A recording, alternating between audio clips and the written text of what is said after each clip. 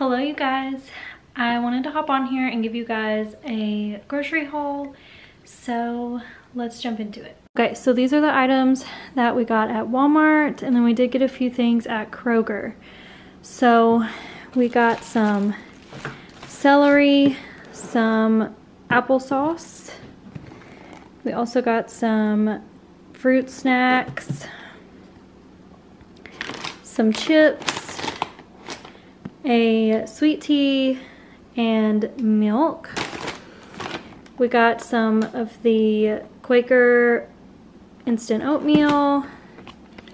We also got some maple syrup and some salt, diced tomatoes, and these breakfast sandwiches.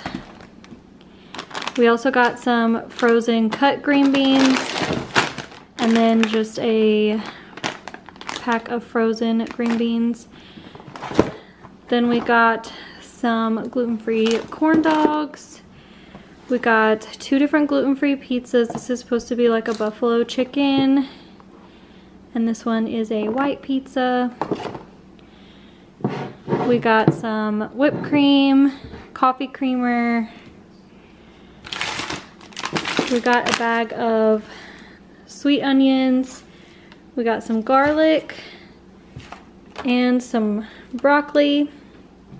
And then non-food items, we got some toothbrushes for little man and deodorant and then a tea pitcher. I only needed um, three things at Kroger just because Walmart didn't have it. Um, so I'm gonna try to make fruit tea. So I got some lemonade concentrate, pineapple concentrate, and some orange concentrate.